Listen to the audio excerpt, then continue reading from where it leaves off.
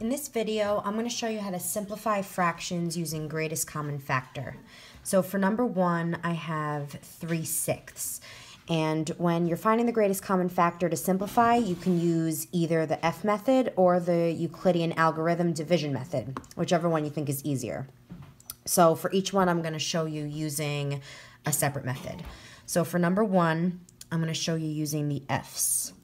So I'm going to draw my F's. And I'm going to use my numerator is 3, my denominator is 6. So based on the previous two videos, my F method, I know I need to start with 1 and do 1 times 3. 2 doesn't work, so if I went to 3, it would just repeat it so I can stop. So then I'm going to go to 6. 1 times 6 is 6. Go to 2. 2 times 3 is 6. And then I can go up to 3, but I already have a 3, so I'm going to stop again. So the common factors are 1 and 3. And looking at the common, the greatest one is my 3. So I know my greatest common factor is 3. Now using that greatest common factor, I'm going to go back to my fraction and I'm going to divide both my numerator and my denominator by that greatest common factor. So I like the F method because you can go back and see which factors match up. So for my numerator, 3 divided by 3, I know is going to be 1. And 6 divided by 3, I know is going to be 2.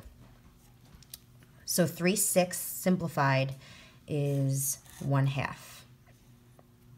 Now if I look at number 2, I have 27 over 33. And this way I'm going to show you using the Euclidean algorithm, or the dividing method. So I know my Big number is 33. That's going to be my dividend. And my 27 is smaller, so that is my divisor. So 27 times something is going to give me close to 33. And I like the dividing method better when you have the bigger numbers because it gives you a more accurate answer. You don't miss many factors. So 27 times 1 is closest. 1 times 27 is 27. And I subtract 6. 2 minus 2 is 0. All right, so I have a remainder of 6, and 27 is my divisor, so I need to continue. Okay, so 27 divided by 6. 6 times, I know 4 is going to give me 24, which is close. So 4 times 6 is 24. If I subtract, I get 3, and I need to keep going because I have a remainder. I'm going to use 6 and 3.